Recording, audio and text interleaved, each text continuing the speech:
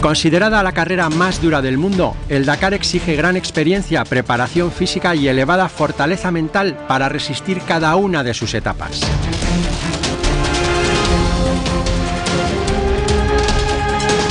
Espíritu de lucha y superación que convierten a esta competición en una de las carreras más seguidas del mundo. 70 canales de televisión con alcance en 190 países retransmiten la aventura de sus más de 500 participantes, que este año se adentraron en el complicado desierto de Perú.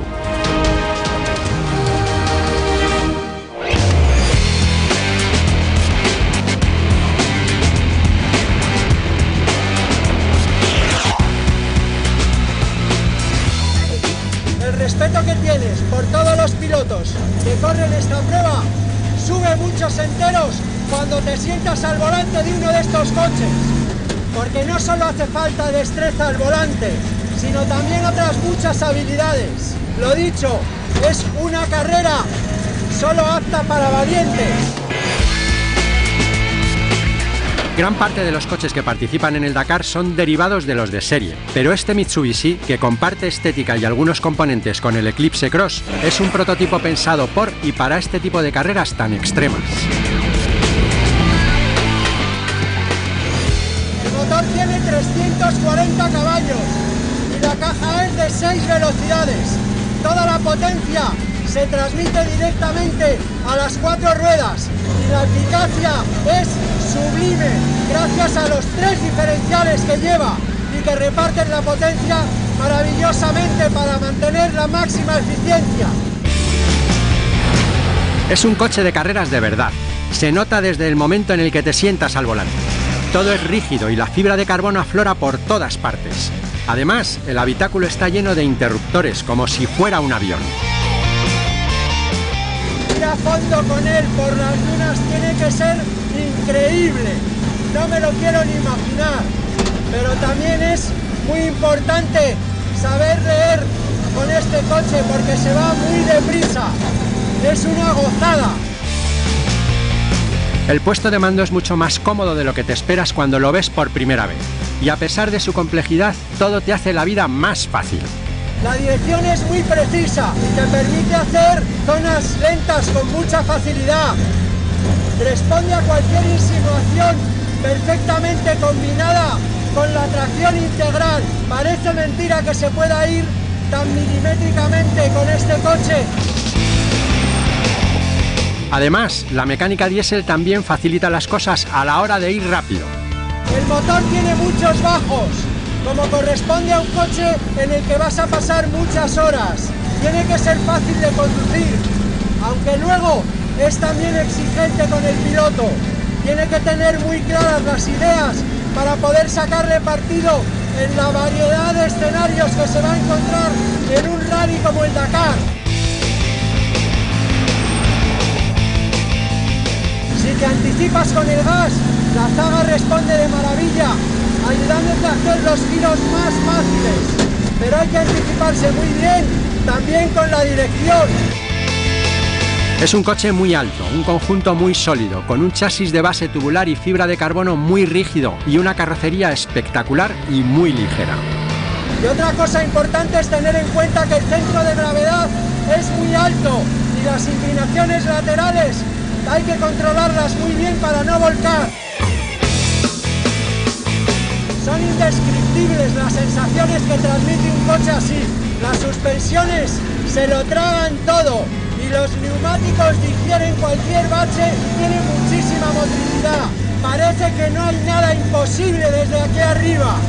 Te sientes imparable. Es una pasada. Y esa tuvo que ser una de las muchas emociones que vivió Cristina Gutiérrez a los mandos de este Mitsubishi Eclipse Cross T1 Prototype durante los 5.000 kilómetros que recorrió en el Dakar. Por eso creo que no hay mejor invitada para el programa de hoy. Bueno, Cristina, un placer volver a tenerte en el programa. Un placer el mío, la verdad es que encantadísima. Está muy bien este coche que me has dejado probar. ¿Te ha gustado, no?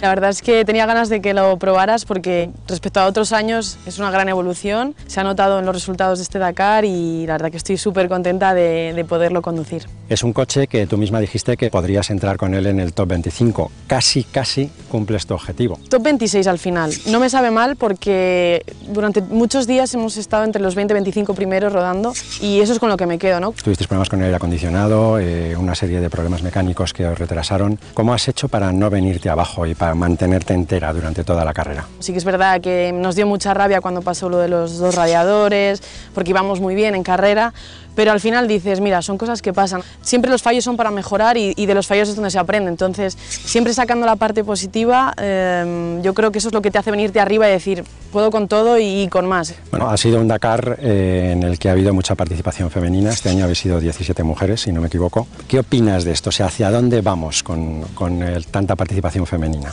Va en ascendencia.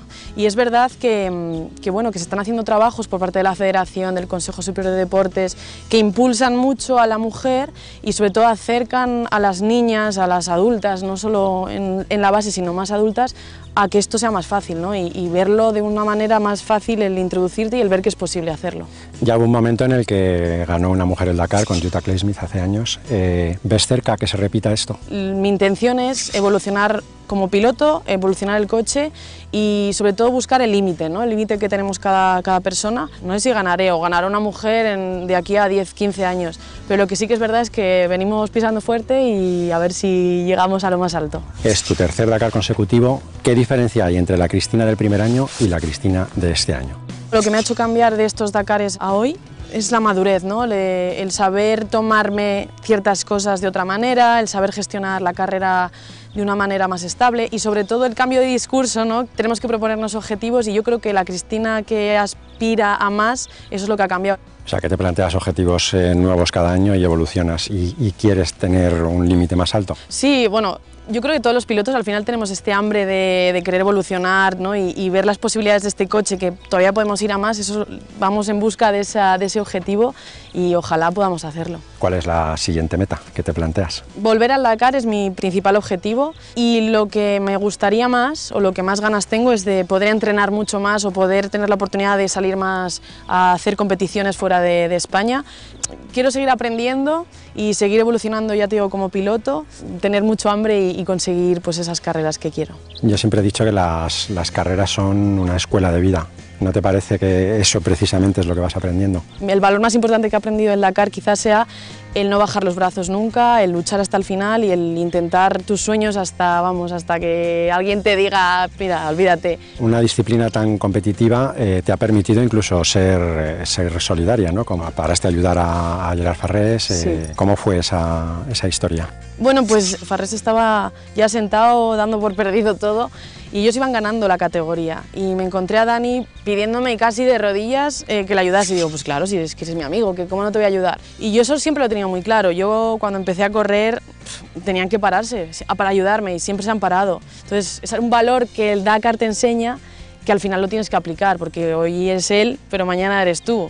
¿Cómo te defines a ti misma? Siempre me ha gustado ir de menos a más, ¿no? No, no hacer pasos grandes. Tanto en la ortodoncia o en mi carrera profesional como en, en, lo deportivo, ir poco a poco, poco a poco y llegar hasta donde, donde mi mente crea capaz que es llegar. Entonces yo creo que mi, mi valor principal creo que es eso, el ser muy cabezona, pero en el buen sentido. O sea, muy perseverante, como quien dice. Sí, eso está bien dicho. Voy a, voy a cogértelo, muy perseverante, sí, sí. y entre carrera y carrera y consulta y consulta, ¿te queda tiempo para hacer algo más? ¿Tienes algún hobby o algo que, que te divierta? Soy de muy de mis amigos, me encanta compartir tiempo con ellos y, y, la amistad siempre ha sido como también un valor que lo he puesto en alza siempre. Me voy de viaje o organizo alguna con ellos y, y disfrutar. ¿Y algún, algún deporte? Algún deporte, mira, me encanta el esquí. Soy esquiadora desde que soy muy pequeña, así que yo creo que ese es el principal hobby. Bueno, te vamos a regalar la famosa gorra de centímetros cúbicos y nada, y que, que, me des una vuelta en el coche, porque yo me lo he pasado cuadrado al volante, he disfrutado como, vamos, como loco y bueno, quiero ver ahora cómo lo llevas tú. Ahora toca sufrir. Perfecto.